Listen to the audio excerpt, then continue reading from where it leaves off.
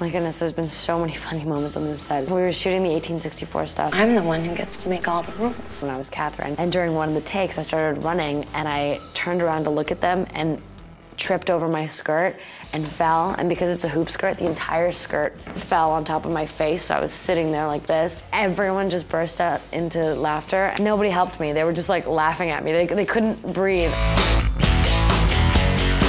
Here's the difference. Stefan would work hard to not have to do mind compulsion on, on, on a girl.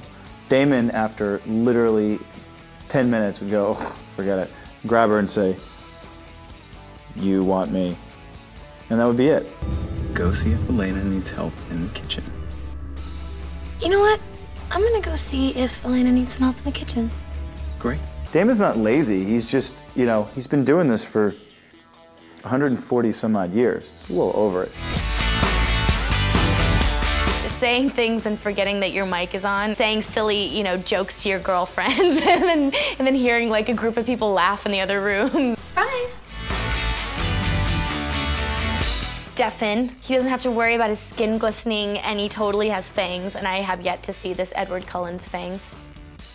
Yeah, let's see them, Edward. What you got? As if I would even remotely, possibly entertain the idea of him beating me. Come on. I didn't. Uh, maybe did anyone else? What other what other answers have you got? Did someone else take their shirt off? I want to see what people really had to do to get this job. Ian probably just walked into the room with his shirt off. I was not asked to take my shirt off in the audition. I think all the other boys did. No, I'm joking.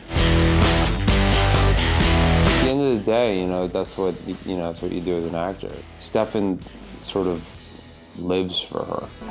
I will love you forever. You have to kind of think about Stefan's uh, mindset. You know, uh, it's very extreme. We all are really, really good friends, but we just know that once it's on the page, we come to set, we do our thing. We want to make it as real as possible and as genuine, and we want to make everyone fall in love with these characters and believe the love story. That's what it's about. It's about Stefan and Elena's undying love.